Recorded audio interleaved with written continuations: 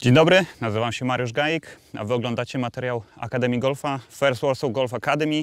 Znajdujemy się na polu golfowym First Warsaw Golf w Rajszewie, 20 km od centrum Warszawy. To jest bunkier w pobliżu 13 greenu. E, otrzymaliśmy zapytanie od Tomka tym razem, co może zrobić, żeby poprawić swoją grę z bunkra. Poprawicie swoje, swoją grę z bunkra, jeżeli nauczycie się kontrolować najniższy punkt Waszego zamachu.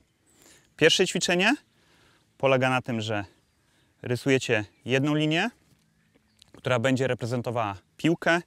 Następnie rysujecie obok drugą linię, która reprezentuje miejsce pierwszego kontaktu z podłożem. Stopy mogą być rozstawione troszkę szerzej. Otwieramy odrobinę łopatkę. Nasza linia znajduje się bliżej lewej stopy i staramy się trafić w podłoże w taki sposób, żeby wasz ślad rozpoczynał się na pierwszej linii. Nie szkodzi, jeżeli wasz kontakt z podłożem na początku nie będzie się zgadzał z tymi liniami. Natomiast możecie to wykorzystać jako informację zwrotną i zorientować się, jaka jest wasza tendencja.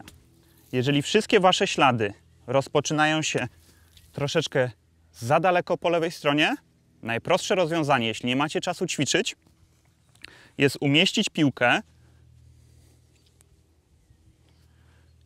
troszeczkę bliżej lewej stopy.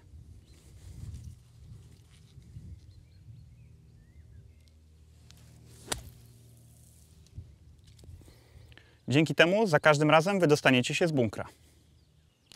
Jeżeli w poprzednim ćwiczeniu z naszymi liniami trafialiście powtarzalnie po tej samej stronie, przechodzimy do ćwiczeń z piłką.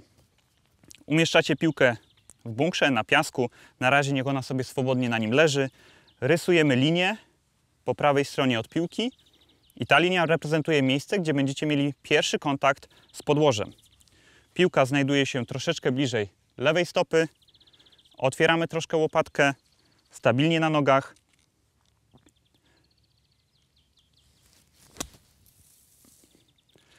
Za każdym razem starajcie się wyrzucić stosunkowo dużą ilość piasku. To pozwoli Wam wydostać się z bunkra za każdym razem.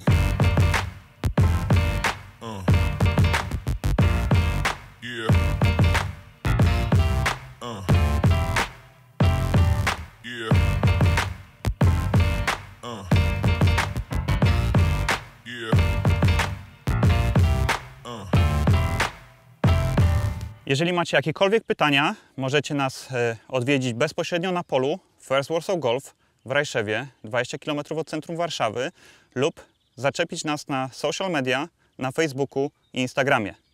Zapraszam.